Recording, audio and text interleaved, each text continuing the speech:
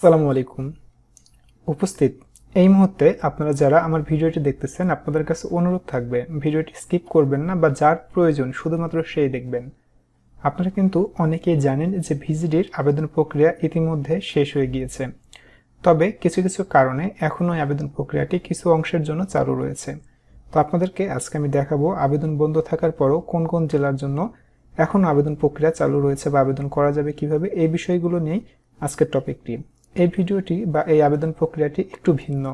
অন্যান্য যে ভিডিওগুলো আপলোড করেছিলাম ইতিপূর্বে, সেই সকল ভিডিওটা দেখিয়েছিলাম যে পন্থায় এই নিয়মটি বা এই মেথডটি একটু পরিবর্তন হয়েছে। ভিডিও শেষ পর্যন্ত থাকবেন ইনশাল্লাহ কোনো অংশ যদি বুঝতে অসুবিধা হয়, তারা আমাকে কমেন্ট করবেন। আর যারা এখনও আবেদন করেননি, আপনাদেরকে আবেদন করে দেওয়ার একটা ব্যবস্থা করা থাকবে। হয়তো বা ভিডিওর মাঝখানে কোনো এক অংশ আমি বলব কীভাবে আপনারা যোগাযোগ করলে যারা এখনও ভিজিটের জন্য আবেদন করতে পারেনি তাদের আবেদনগুলো আমি করে দেওয়ার চেষ্টা করব। তো চলুন কম্পিউটার স্ক্রিনে একটু মুভ করা যাক। ওকে কম্পিউটার স্ক্রিনে রয়েছে আমি। এখন এটি হলো আবেদনের লিঙ্ক আবেদনের ইউআরএলটি পরিবর্তন হয়নি। আগের ইউআরএলটি রয়েছে যে D DW A VWB dot gov dot BD ICVGD application VGD form এখান থেকে এখন আমি একটি কাজ করব যে জমাদানের ধরন। এখান থেকে জমাদানের ধরন স্থানীয় কম্পিউটারের দোকান দিলাম। দেওয়ার পর আপনাকে অ্যাট ফার্স্ট যোগাযোগের তথ্য সাবমিট করতে হবে। আগে আমরা কি দেখতাম? যে আইডি কার্ড সাবমিট করতে হচ্ছে। কিন্তু এখন আপনাকে আগে যোগাযোগের তথ্য সাবমিট করতে হচ্ছে যে আপনি কোন জায়গায় এটি সংরক্ষণ দিতে চান বা আপনার কোন ইউনিয়ন সেটি সিলেক্ট করবেন। তো আমি এখানে দেখি, পাবনা জেলার মধ্যে কোন কোন ইউনিয়নের জন্য বা উপজেলার মধ্যে জন্য শুধুমাত্র এটি সচল রয়েছে।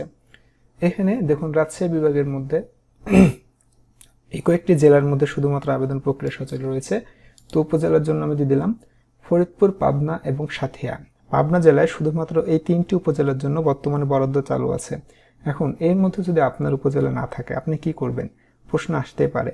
আপনার উপজেলার নাম যদি এখানে না পান, কিন্তু এমনও কিছু ভাতাভোগী রয়েছে যারা এখন আবেদন করতে পারেনি তবে তার আবেদন করাটি খুবই জরুরি। সেই ক্ষেত্রে আপনি এই বিষয়টি আপনার সচিবকে জানাবেন। আপনার সচিব যদি বিষয়টি বুঝে, তাহলে তিনি উপজেলা মহিলা বিষয় কর্মকর্তার সঙ্গে যোগাযোগ করে তিনি ঢাকায় ঊর্ধ্বতম কর্মকর্তার সঙ্গে যারা সফটওয়্যার এক্সপার্ট রয়েছে তাদের সঙ্গে কথা বললে আবেদন প্রক্রিয়াটি রানিং করে দিবে। যেমন আমার উপজেলায় একটি ইউনিয়ন পরিষদে আবেদনের সংক্ষিপ্ততা দেখা দিয়েছিল যে নির্ধারিত আবেদনের থেকে অনেক কম আবেদন পড়েছে, সেজন্য উক্ত ইউনিয়নে আবেদনটি আমি চালু করে নিয়েছিলাম। সো এখন আমি সেই আবেদনটি করে দেওয়ার চেষ্টা করি বা দেখি কীভাবে করতে হবে। এখান থেকে ফরিদপুর দিলাম এবং ফরিদপুরে শুধুমাত্র ড্যামরা ইউনিয়নে এটি চালু রয়েছে। সো ড্যামরা দিলাম এবং ওয়ার্ড নম্বর দিয়ে দিলাম সাত। এখন গ্রামের নাম দিতে হবে আমাকে। সো গ্রামের নামটি মাস্ট বি বাংলা। গ্রামের নাম বিজয় কিবোর্ড দরকার।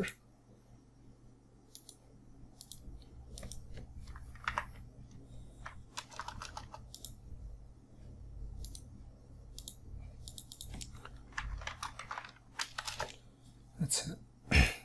কিবোর্ডের সমস্যা।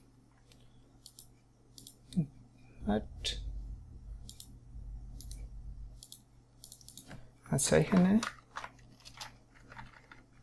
ও শিট কিবোর্ডের লাইন আনপ্লাগেড করা আছে। কিবোর্ডের লাইনই খোলা আমার। ওকে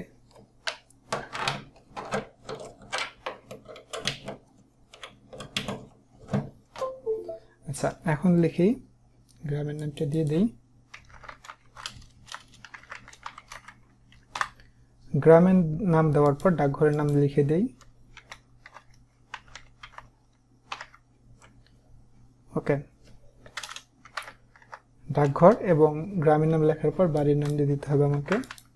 এখন আপনাকে সর্বপ্রথম এই তথ্যটা ফিল করতে হবে। এই তথ্য ফিল করার পরে আপনি আইডি কার্ড দিয়ে সাবমিট করতে হবে। না হলে কিন্তু হবে না। আপনাকে আগে এই তথ্যটি ফিল করলাম। এখন যোগাযোগের তথ্য সাবমিট চাপ দেই।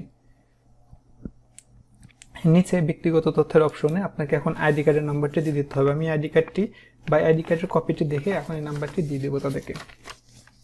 তো এখানে আইডি কার্ডের নাম্বারটি প্রোভাইড করে দেই।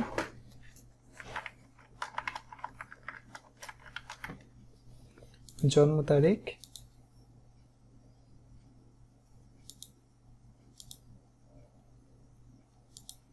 এবং দিন ওকে। ব্যক্তিগত তথ্যতে এসে প্রথমে দেবেন আইডি কার্ডের নাম্বার, এরপরে জন্ম তারিখ দিয়ে জাতীয় পরিচয়পত্রে ক্লিক করার সঙ্গে সঙ্গে আচ্ছা আবেদন গ্রহণ করা হবে না। এই আইডি কার্ডের নাম্বারটি দিয়ে সাবমিট করা হয়েছে, আমি একটু দেখি। আচ্ছা আমি এখানে কি করলাম? জাতীয় পরিচয়পত্রের নাম্বার এবং জন্ম তারিখ দেওয়ার পর ব্যক্তি তথ্য চলে আসলো। আপনারা পূর্বে যারা আবেদন করেছিলেন সেম ওয়েতে বা সেম ফলো করলে কিন্তু হয়ে যাবে। আচ্ছা আবেদনের মাধ্যমে আমি আপনাদের একটু বিরক্ত করি। আমি একটা বিষয় দেখাই আপনাদেরকে। একটা কমেন্ট দেখাই যে দেখেন, আপনারা কত ভালো বা একটা ব্যক্তি দেখেন কেমন হলে তার মুখের ভাষা এমন হয়। কমেন্টটা দেখেন যে ইনি লিখছে, আমি কিছু বুঝি না। সো আমি যদি এই ভাইটি ইতিমধ্যে আমার ভিডিও দেখে থাকেন, আপনাকে রিকোয়েস্ট করব যে আমাকে একটা কন্টেন্ট করে দেন। এবং আপনি যদি অনেক জেনে থাকেন, তো একটা চ্যানেল করে নিজে নিজে ভিডিও বানান। আমার কন্টেন্ট আপনাকে দেখতে হবে না। আপনি যে কমেন্টটা করছেন না, অনেক ভালো লাগছে আমার কমেন্টটা দেখে। সো যদি কিছু নিজে করতে পারেন, তখন বলবেন। অন্যকে সমালোচনা করা বাদ দেন। আপনাদের জন্য বা আপনাদের এই সকল কমেন্টের জন্য অনেক কন্টেন্ট ক্রিয়েটার কন্টেন্ট বানাইতে পর্যন্ত লজ্জা পায়। আপনারা এতটা নিচ্ছে মানে আপনার কমেন্ট আমি তাও অ্যাপ্রুভ দিয়ে দিলাম।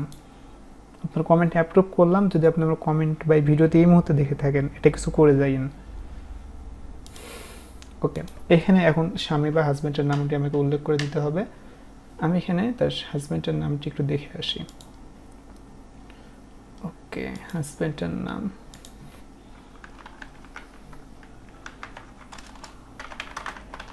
হাজব্যান্ডের নামটি আমার আবার জানা নেই, একটু দেখে নেই তার হাজব্যান্ডের নাম কি?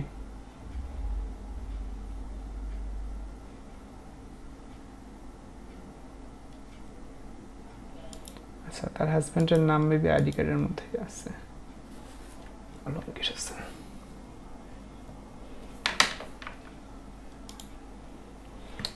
ওকে তার হাজব্যান্ডের নামটি আমি এখানে দিয়ে দেই।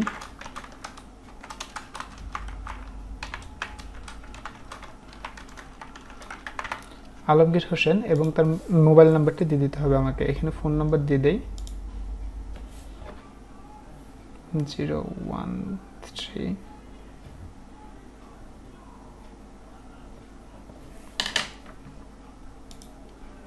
এইখানে ব্যক্তির ফোন নাম্বারটি দিতে হবে আপনাকে।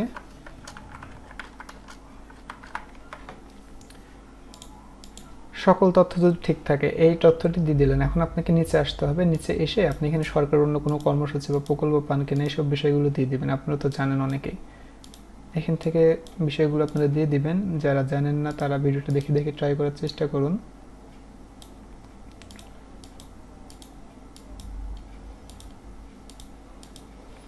আচ্ছা আমার মোটামুটি এই তথ্যগুলো কমপ্লিটেড বা আমি এগুলো দিয়ে ফেলেছি। এখন আমাকে কি করতে হবে? আপনি যদি মনে করেন যে সকল তথ্য ফিল আপ ঠিক আছে, কোনো তথ্য ভুল নেই, তাহলে এখান থেকে সরাসরি সংরক্ষণ বাটনে চাপ দিয়ে দিলেন। আবেদনটি সফলভাবে সাবমিট হয়ে গেছে। আপনাদের কিন্তু কাজ কমপ্লিট আপনাকে এখন কি করতে হবে? এখানে এসে এই যে ভিড বিউবি এর জাতীয় পরিচয়পত্রের তথ্য অনুসন্ধান দিয়ে আবেদনপত্রটি প্রিন্ট করুন। এই অপশনে গিয়ে আপনাকে এই ব্যক্তির আইডি কার্ডের নাম্বারটি দিয়ে এই তথ্যটি আবার ফিল করতে হবে। ফিল করে অনুসন্ধানে চাপ দিলে আমি দেখতে পারব যে আবেদনকারীর সকল তথ্য কিন্তু আমার সামনে প্রদর্শিত হচ্ছে। এখন অনেকেই বলতে পারেন যে সকল কাজ তো হয়ে গেল। এখন আমি যে বলেছিলাম ভিডিওর শুরুতে যারা আবেদন করতে পারেননি তারা কীভাবে আবেদন করবেন? আপনাদের জন্য একটি বিষয় হলো কি, আপনারা আমাকে ফেসবুকে মেসেজ করবেন। আমার ফেসবুক আইডিটি আপনাদের দেখিয়ে দিচ্ছি।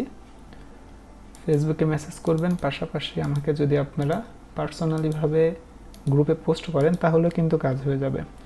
আমার সঙ্গে যদি কমিউনিকেশন করতে পারেন, এই ভিডিওটি দেওয়ার সাত দিনের, তিন দিনের মধ্যে বা দুই দিনের মধ্যে, আর যদি সার্ভার ওপেন থাকে, আপনাদের আবেদনগুলো আমি করে দেবো। এটি হলো আমার ফেসবুক আইডি ফেসবুক আইডিটা আপনারা দেখে নেন অনেকেই। এই নাম লিখে যদি সার্চ দেন ফেসবুকে আমার আইডিটি পেয়ে যাবেন আপনারা। দেন আমাকে গিয়ে একটি মেসেজ করবেন, আমাকে কী কী তথ্য দেবেন? আপনার আইডি কার্ড জন্ম তারিখ, মোবাইল নাম্বার, উপজেলা, ইউনিয়ন এবং গ্রামের নাম। ওয়ার্ড নাম্বারও দরকার। এই ছয়টি তথ্য আমাকে দিয়ে যদি আপনি ইনবক্স করেন, আমি আপনাদের আবেদনগুলো করে দেওয়ার চেষ্টা করব। তবে অবশ্যই যেহেতু আবেদন করতে একটু ঝামেলা হবে, সেই ক্ষেত্রে পার্সোনালি কথা বলে নিব, সমস্যা নেই। তবে যারা আবেদন করতে পারেনি শুধুমাত্র তারাই আমাকে ফেসবুকে গিয়ে মেসেজ করবেন। আর আমাদের যে গ্রুপ আছে গ্রুপে জয়েন হয়ে যাবেন। আমার চ্যানেলের নামে গ্রুপ করা আছে। আর যেটা দেখাইলাম আপনাদের কাছে যদি আমার ভিডিও ভালো না লাগে কোনো বাজে মন্তব্য না করে ভিডিও এড়িয়ে যাওয়ার চেষ্টা করবেন। ধন্যবাদ সবাইকে। এতক্ষণ সাথে থাকার জন্য পরবর্তী কন্টেন্ট কী রিলেটেড পেতে চান তা জানতে কমেন্ট করে দিন। দেখা হবে অন্য কোনো বিষয়ে। ভালো থাকবেন, সুস্থ থাকবেন। খোদা হাফেজ।